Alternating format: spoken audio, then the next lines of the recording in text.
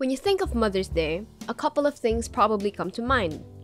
Think flowers, jewelry, and as far as food goes, cake. But that's not quite the case on Father's Day. Instead, it's all about things like gadgets, neckties, and savory meals like steak. It got us wondering why that is the case, and we are on a mission to find out why. But first, believe it or not, countries around the world celebrate Mother's Day on different dates. Here in the Philippines, it even used to be observed on the first Monday of December. You heard that right? In the early 20th century, school kids would put cadena de amor flowers on their chest during this day. Countrywide events were held and husbands gave gifts to their wives. This tradition went on until 1988, when President Corazon Aquino issued a proclamation moving Mother's Day to the first Sunday of May, aligning the Philippines with the US. Come 1998, President Estrada would revert this holiday back to being held on the first Monday of December. Still, Filipinos today celebrate Mother's Day and Father's Day during May and June respectively. Today, when it comes to celebrating Mother's Day and Father's Day, one of the first things that come to mind is probably food.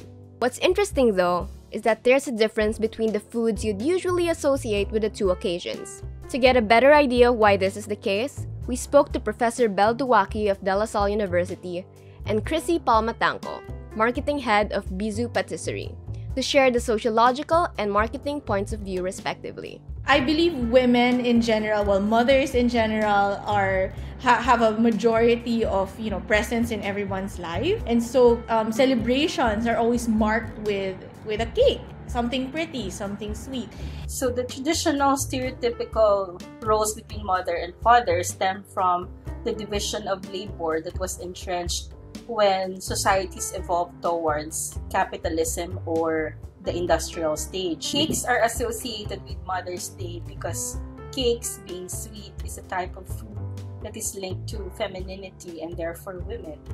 And historically, uh, men had derided sentimentalization during their special their own special days. Besides, they feel that they're going to pay for these expenses, so they don't like the commercial nature uh, that is attached to the celebration.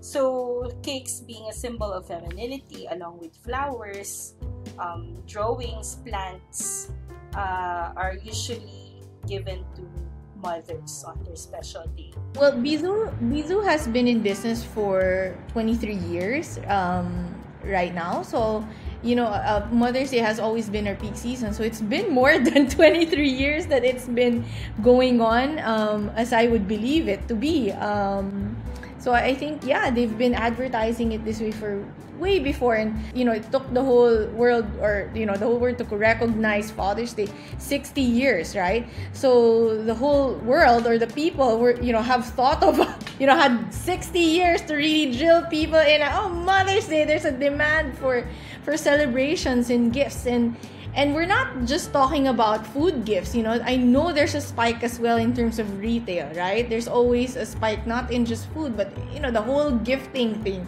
is such a big deal for for um for Mother's Day. Femininity and manliness are social constructs, and you facilitate the social construction of manliness and femininity by this conscious selection of, of, of food associated with special holidays for mothers and fathers. Also, not only about gender, it also has economic uh, implications. It's like a second Christmas for men. So, Father's Day benefits from this so called holiday economics where mall owners or shopkeepers consciously not sell men's accessories and items like golf clubs, uh, ties, socks, wallets, pens that are associated with what is masculine. Now, there's nothing wrong with celebrating Mother's Day with cakes and Father's Day with steaks. But you don't have to be limited to these either. Ultimately, these associations are social conventions and not set in stone. Why not try giving dad a cake and mom a steak for a change?